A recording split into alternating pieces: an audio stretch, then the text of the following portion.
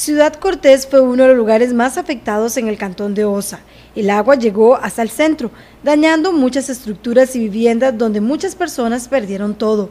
Gerardo Barrantes, vecino de la localidad, vio como de un pronto a otro se inundó y se quedaban sin nada. El barro abunda en cada esquina. Las ayudas afirman que llegan y se hace lo posible para restablecer el lugar, pero ese proceso va a tardar. Ya han habido ayudas de parte de la municipalidad, como usted puede observar aquí ya, está, ya se está sacando un poco el barro, eh, lo que es también de las comederas han estado repartiendo, también ha estado eh, pasando la gente.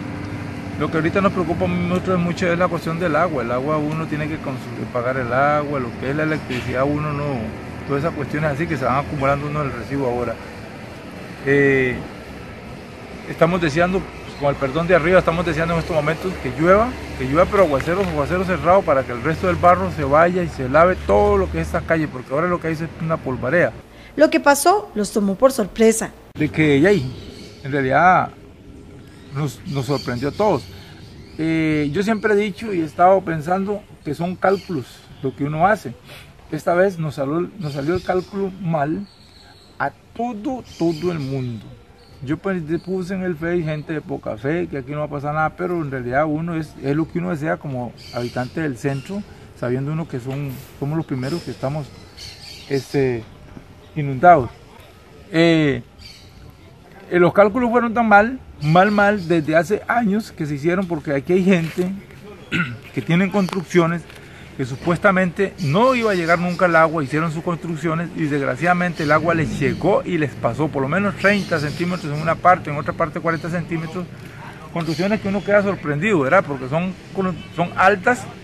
El optimismo sobresale en este vecino, porque aunque tuvo muchas pérdidas materiales, él y su familia están con vida. Seguimos adelante nosotros, lo que se dañó se repara, se hace, se pega un clavo, se pone una tabla, se pone una lámina de zinc y todo, se hace una puerta, se compra un ropero y todo.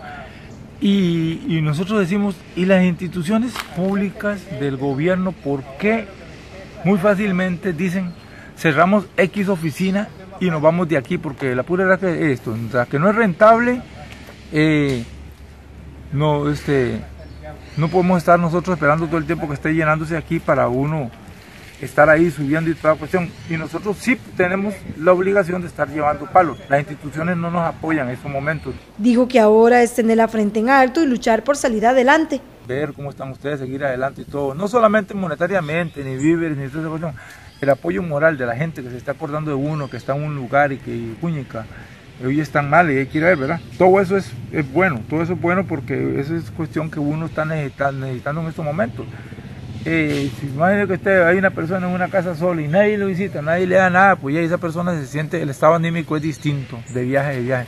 Y en este sentido nosotros tenemos el estado anímico con olor a barro, lleno de barro, todo, pero el, el, a la hora de venir una persona de estas, por lo menos usted llevan un poquito de barro en sus pies y toda cuestión, ya uno dice, ya hay una descarga más eh, mentalmente y psicológicamente para nosotros. En Ciudad Cortés todos aportan, los vecinos quieren salir adelante y esperan recuperarse y que todo vuelva a la normalidad.